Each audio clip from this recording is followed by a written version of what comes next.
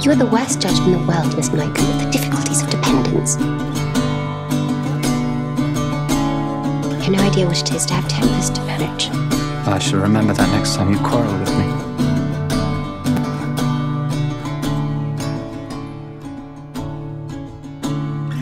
What you do to me? You must never flatter me in front of Mr. Knightley, Harriet. There's nothing left to see. He thinks me vain enough already. You left me in the dark now, I do not think you personally vain. and I'm blended with disease. Considering how very handsome you are, you seem little occupied with it. What you do to me?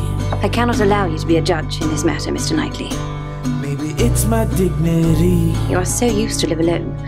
You do not know the value of a Make me companion. rip that all apart now. Well, she always declares that she will never marry, which of course means just nothing at There's all. no remedy. I, oh, I should like to see Emma in love. eh, oh, What do you say to this, Emma? I have made a marriage between Mr. Knightley I- and Jane Fairfax. don't know And in some doubt of a return.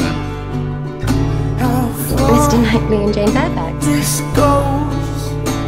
It would do her good. What you do to me? Better to be without sense altogether than to misapply it as you do. There's nothing left to see. How could you be so unfeeling? You broke my heart in two. Now I'm stuck looking for you. You What think of Mr. Knightley for yourself. Harry, Maybe it's my dignity. With whom will you dance? You made me rip that whole apart now. With you, And now I'm begging on my knees. if you will ask me. What you do to me? He's a fortunate man indeed. There's nothing left to see. You speak as if you envied him. And I do envy him. You left me in the dark now. In one respect. Don't come be fake with me. He is the object of my envy. What I do to you?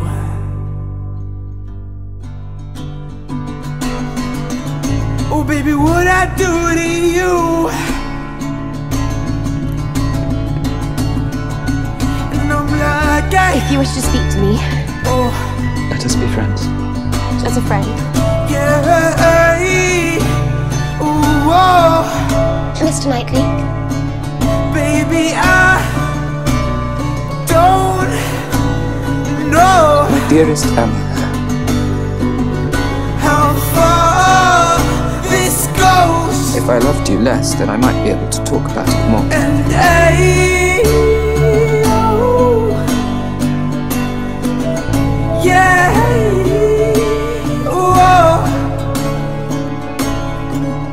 baby, I don't know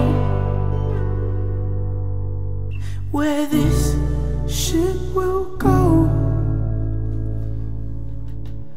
Ah.